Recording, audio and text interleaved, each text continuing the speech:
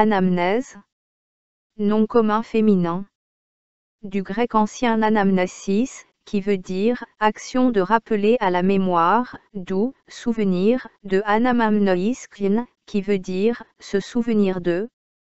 En religion, prière qui, dans la messe, suit la consécration et rappelle le souvenir de la rédemption.